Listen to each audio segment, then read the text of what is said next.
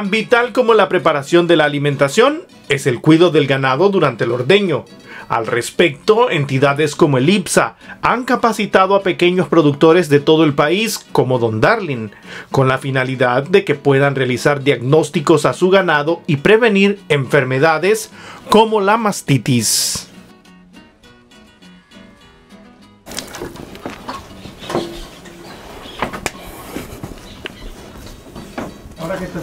Hoy estoy haciendo el secado.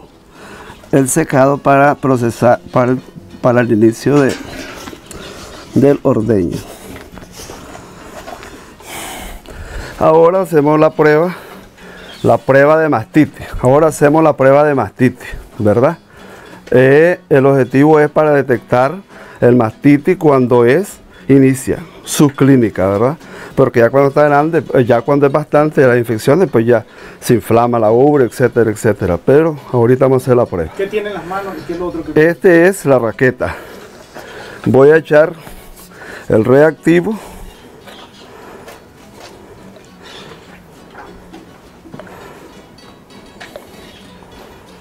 Para hacer la prueba.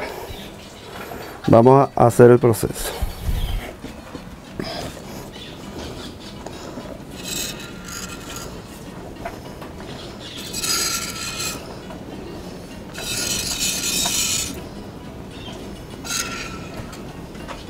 Bien, nosotros venimos, lo movemos un momento, si esta leche se coagula todita, eh, hay mastitis, hay mastitis. Si no se coagula, está súper bien todo. Entonces nosotros ya nos damos cuenta si hay mastitis o no hay mastitis. ¿Esta ¿verdad? técnica quién se le enseñó?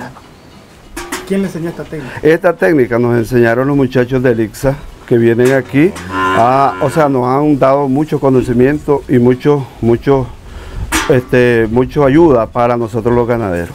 Este era un problema común. ¿eh? Ese, sí, es un problema grandísimo que teníamos antes, que eran este, los mastitis, eran un proceso eh, demasiado.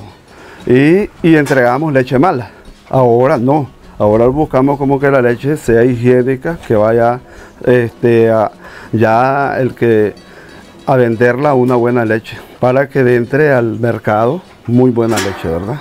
¿Cada cuánto recomienda usted que se haga este examen? Cada ocho días nosotros estamos haciendo esta prueba de mastitis.